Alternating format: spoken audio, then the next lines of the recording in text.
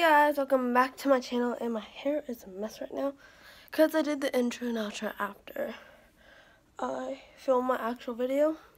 So I'm actually like sweating right now because that's so tiring. But um, so this video is about how to do your handstand and y'all seem to like a lot of my tutorial videos like how to get your splits fast and how to get your middle splits fast. So I decided to do another tutorial and if you guys would like to see more of these tutorial videos, then please give this video a big thumbs up.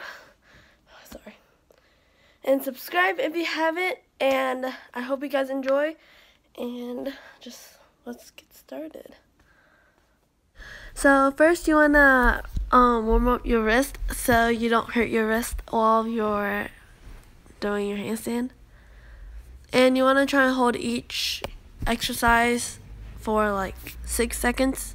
So now you want to warm up your arms again so you don't like pull a muscle or anything, just to be on the safe side.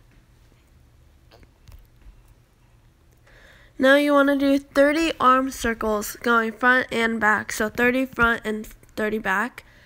And then you want to do some of these things. I don't know how many. I mean, actually, I do. 30. And now you want to warm up your core, which is like one of the most important things. So you can do one of those exercises.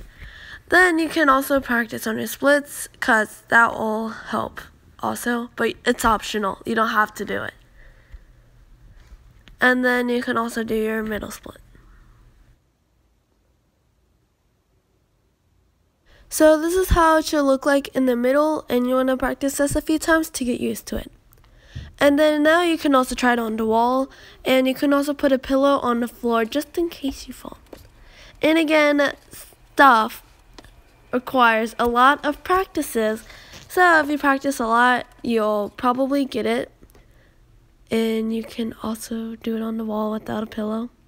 So after a while, you should get your handstand. And there's also different types of handstand, like split handstand, stag handstand,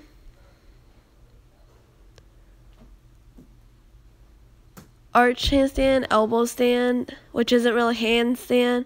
Then there's the scorpion handstand. I'm pretty sure that's what it's called. So basically, if you want me to teach any of these in a YouTube video, then just comment it down below. Keep in mind, I'm not a professional gymnast. I'm just a self-taught gymnast. Even though I learned gymnastics for half a year, it didn't really help that much because I had to quit. So thank you guys so much for watching my video and thank you for watching to the end actually.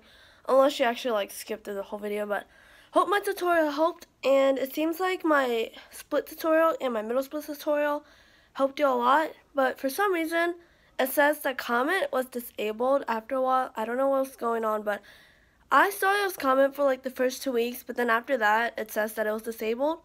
So that wasn't like very happy to see but um, comment down below if you know what happened. But still, thank you guys so much for watching. Remember to subscribe if you haven't. And give this video a big thumbs up. And I'll see you guys next week. Bye.